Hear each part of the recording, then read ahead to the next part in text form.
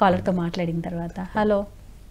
Hello నమస్తే అండి. నమస్తే అండి. మీ పేరు? ఎక్కడి నుంచి మాట్లాడుతున్నారు? పేరు సచివేణి అండి. అమలాపురం నుంచి మాట్లాడుతున్నానండి. ఓకే సత్యవేణి గారు ఏం తెలుసుకోవాలనుకుంటున్నారు? ఆ, మా బాబు అండి మందు తాగటం మానట్లేదండి సిగరెట్ కాల్చుతున్నాడు ఇరవై సంవత్సరాలు అండి వాడికి.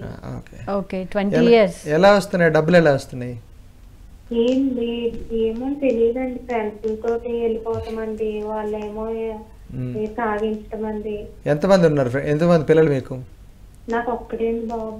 మరి అదే ఉంటుంది. ఒక పూర్తి ప్రేమ అంతా వాడి మీద పెట్టేస్తావు కాబట్టి ఉంటుంది. ఇప్పుడు చదువుతున్నాడు కదా వాళ్ళ నాన్నగారు?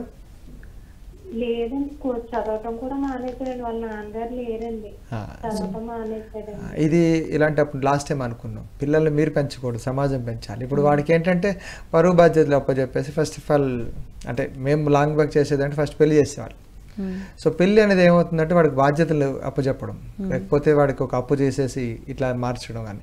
ఫస్ట్ వాడు తెలుసుకోవాలండి. ఫ్రెండ్స్ వాళ్ళ వాళ్ళ ఫ్రెండ్స్ ఎవరైతే ఉన్నారో వాళ్ళతో మాట్లాడుతుండాలి అమ్మ. ఆవిడే బాధగా చెప్తుంది.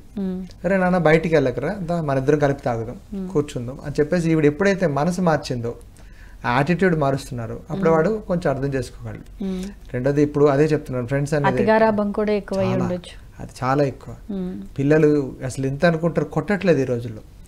భయపెట్టట్లేదు. తండ్రి అంటే భయం లేదు తల్లి అంటే ఇది లేదు గౌరవం లేదు. సింగులర్లో మాట్లాడుతున్నారు. సో కొట్టే సిస్టంలో ఎక్కువైపోతున్నారు. అంటే టేక్ ఇట్ ఈజ్ మెంటాలిటీ ఉంది. అంటే వాడు ఇక్కడ కాకపోయినా బయట వెళ్ళి తింటున్న వేరే విధం ఉంది కదా. అలాంటి వ్యక్తులు ఏమవుతారు? దొంగతనాల దగ్గర అవుతుంటారు. అబద్ధాలు ఆడడానికి దగ్గర అయిపోతున్నారు. అదొక వ్యసనమే. తెలియకుండానే వాళ్ళు వ్యసనంలోకి వెళ్ళిపోతున్నారు. అందుకే ప్రతి ఒక్కరికి ఆ టైంలో ఏం చేశారు? బాధ్యత పడేశారు. భార్య అని బాధ్యత అప్పు అని ఒక బాధ్యత. ఇప్పుడు ఏమవుతుంది? వాడు అప్పులోడు గుంజుతుంటాడు. భార్య ఏం చేస్తుంటది? ఆవిడ వాడి అవసరాల కోసం ఆవిడ సపోర్ట్ చేస్తుంటది. ఈ లోపల పిల్లలు అనుకో అప్పుడు ఏమవుతుంది వ్యసనాలకు దూరంగా వెళ్ళకుండా బాధ్యతలో పడిపోతారు మనిషి. సో మనిషిని ఎప్పుడైతే బాధ్యతలో పెట్టేసామో ఆటోమేటిక్గా వ్యసనాలు తగ్గుతూ ఉంటాయి. ఇంట్లో కూడా వాళ్ళు ఆ బాధతో ఉండకూడదు. ఇంట్లో చెప్పేటప్పుడు లేదు ఇప్పుడు వాళ్ళ మావయ్య కానీ పెదనాన్న కానీ ఎవరైతే ఉన్నా బాధ పెట్టకూడదు. కొట్ట చెట్టకూడదు ఫస్ట్ ఆఫ్ ఆల్ వాడి పెళ్ళి అనే సిస్టంలో ఎంకరేజ్ చేస్తున్నారు. మ్మ్. అంటే వాడు ఇంకొక విధానంతో పెట్టుకుని లేకపోతే వాళ్ళ ఫ్రెండ్స్తో మాట్లాడుతున్నారు. మ్మ్. ఈ రోజుల్లో అన్ని చాలా చెత్తలు ఎక్కువైపోయినాయి. సో అందుకని సెల్ఫ్ రియలైజేషన్ చాలా ఇంపార్టెంట్. సో దానివల్ల ఏమంటుంది సమాజం బాగుపడుతూ ఉంటుంది. ఓకే